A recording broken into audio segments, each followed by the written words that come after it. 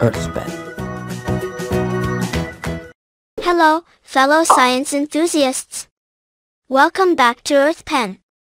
Today, we're embarking on a fascinating journey through the history of chemistry to explore the development of one of science's most iconic tools, the periodic table. Join me as we trace the evolution of this remarkable chart of elements.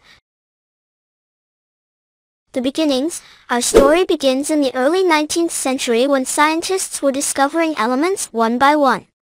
It was a chaotic time for chemistry, as elements had no organized arrangement. Antoine Lavoisier, enter Antoine Lavoisier, the father of modern chemistry. His meticulous work on the conservation of mass and the identification of elements laid a strong foundation for future periodic table development. John Newland's Law of Octaves, in the 1860s, John Newlands noticed that when elements were arranged by increasing atomic mass, their properties seemed to repeat every eighth element, much like musical octaves. Dmitry Mendeleev. The true breakthrough came in 1869 with Dmitry Mendeleev, a Russian chemist.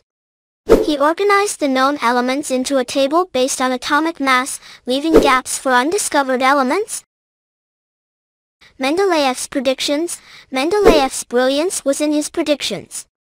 He not only arranged elements effectively but also predicted the properties and even the existence of elements yet to be discovered.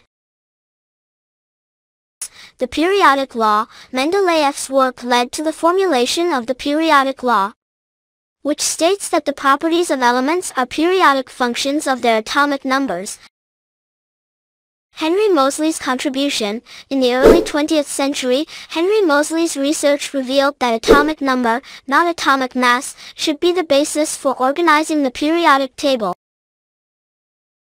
Modern periodic table. Today, we have the modern periodic table, with elements arranged by increasing atomic number.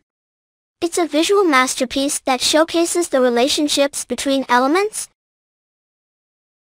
practical applications, the periodic table is more than just a chart, it's a vital tool for chemists, guiding research, and enabling us to understand the behavior of elements and their compounds. In conclusion, the development of the periodic table is a testament to human curiosity and scientific progress. Thanks for joining us today on EarthPen. Don't forget to like, subscribe, and share your thoughts or questions about the periodic table in the comments below. Until next time, keep exploring the wonders of chemistry and the rich history of scientific discovery. Once again, this is Earth Pen. Learning has never been this easy for anyone, anywhere.